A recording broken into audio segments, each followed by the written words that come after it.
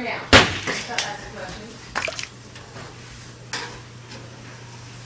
Just to make sure you're dead.